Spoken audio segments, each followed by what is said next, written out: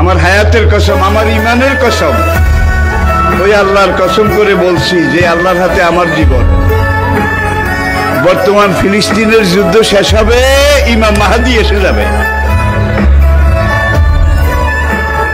ইমাম মাহাদি আসার নয় বছর পরে, ইমাম মাহাদি আসার নয় বছর পরে আলাহ সাল্লাম আসবেন। আর ইমাম মাহাদি আসার পরে নয় বছর এটার মধ্যে দাজ্জাল তার আবির্ভাব ঘটবে। এমন সময় আমি আপনাদের সাথে কথা বলছি। হাদিসের ভাষ্য অনুযায়ী, মনে করেন দাজ্জাল আপনার বাড়ির দরজায় এসে দাঁড়িয়েছে। এমন সময় আমি আপনাদের সামনে কথাগুলো বলছি।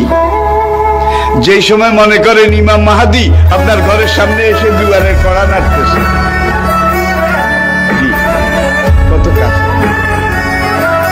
আল্লাহ নবী, ইমাম মাহাদি সম্পর্কে, দাজ্জাল সম্পর্কে সত্তরটা ভবিষ্যৎবাণী করেছেন। কয়টা?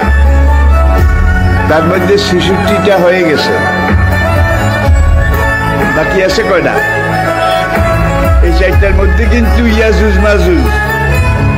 বাইর হবে, সব খাইয়া ফেলাইবে। এবারে দা পাতল আরদ কোরআনে আছে। দা পাতল আরদ, মক্কা এবং তাইফের মাঝখানে।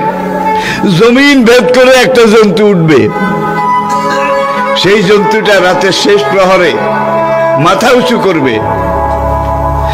মাথা এত উঁচু করবে, কাবা থেকে দেখা যাবে, ইয়ামেন থেকে দেখা যাবে বসুল মাকদাস থেকে তার কল্লা দেখা যাবে। সে কল্লা উঁচু করে বলবে, হায় দুনিয়ার মানুষ, সে মুসলমান জাতি, দুর্ভাগ্য তোমাদের। আজকে রাতে আল্লাহ তওবার দরজা বন্ধ করে দিয়েছে।